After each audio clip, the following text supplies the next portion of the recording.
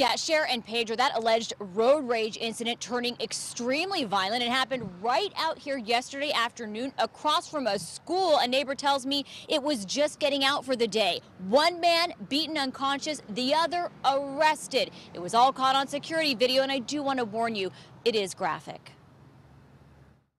Just seconds after getting out of their vehicles, it appears words are exchanged and the first punch is thrown. Then another, and the fight is on. The two men on the ground and the suspect with overalls and long hair seen pounding the other man with punch after punch. At one point, appearing to stomp him and kick him in the head.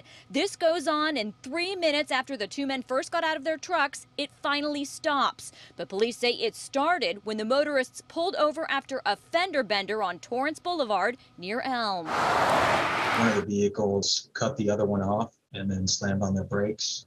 And that caused the other vehicle to then try to get by and ended up causing a traffic collision. This neighbor heard the crash, looking outside, shocked to see the violence going on at the end of her street. So I called 911. I looked outside. I started knocking on neighbors' doors because at this point it seemed like the incident was quickly escalating. She tried to find others to help and says neighbors were yelling for him to stop. A good Samaritan is seen in video at one point trying to intervene. I saw a fire engine and my immediate instinct was to run up there, flag the fire the fire truck down and hope that they could give aid to the guy who needed it.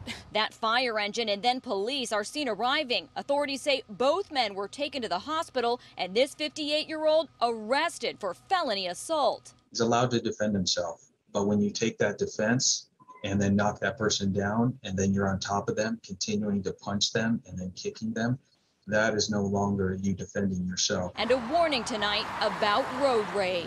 If you are involved in an accident, you pull the side of the road and somebody is then taking out their anger, make sure you call 911 right away. Stay in your vehicle. Just goes to show that there's it's not worth it. The road rage is not worth it.